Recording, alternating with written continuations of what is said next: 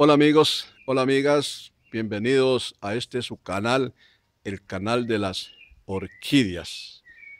Con estas imágenes que les estoy mostrando quiero darle forma a este video y comentarles sobre la situación de estas orquídeas que son conocidas como Schumburgia.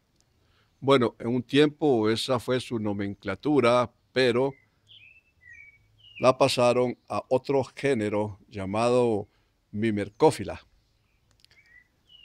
Eh, se llama Mimercófila porque las, estas orquídeas tienen una relación muy estrecha con las hormigas, ya que sus pseudobulbos son huecos y ahí habitan colonias de hormigas que la orquídea les da casa y ellos, las hormigas, le dan protección. Entonces forman una simbiosis entre hormigas y la planta. También este, comentarles que estas mimercófilas, que el nombre de estas orquídeas viene del griego que significa amiga de las, de las hormigas. Por eso su nombre que le pusieron a estas matitas. También este, la simbiosis, que es un género griego y hace referencia a la relación entre organismos diferentes.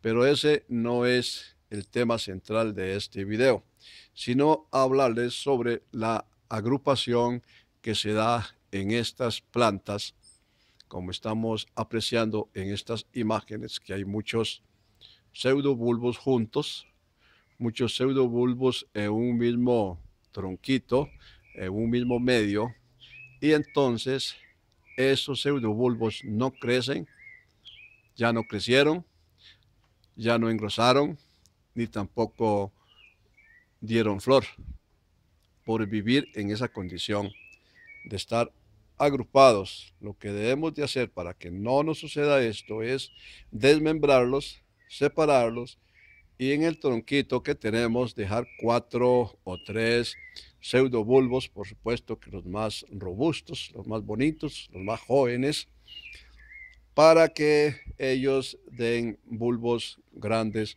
fuertes, como es el caso de este, y así puedan dar una floración más, más surtida. Como podamos apreciar, esta vara floral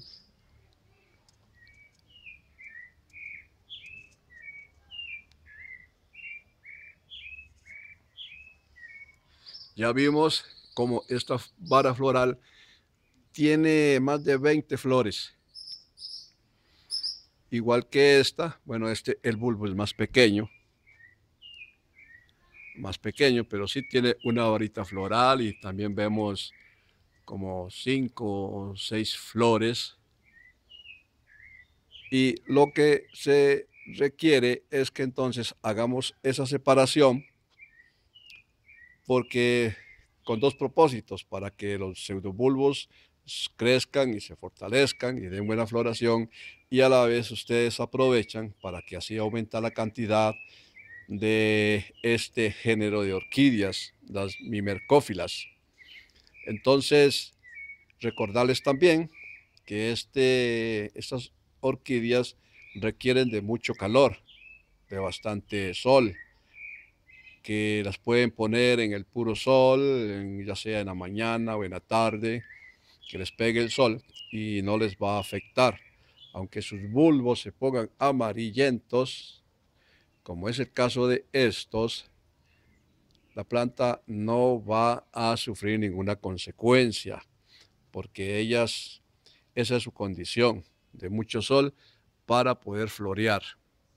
Espero que les sirva de algo este video, que lo compartan y que también no se les olvide darle me gusta, porque así ayudan al canal a crecer, porque está muy pequeñito este canal, está comenzando, apenas y acaso cinco o cuatro videos tiene en su cuenta y nos gustaría que creciera. También que hagan comentarios a ver qué les gustaría, qué sería bueno para el canal, qué videos hacer y yo estaré atento a esos comentarios. Les agradezco infinitivamente y nos vemos más adelante.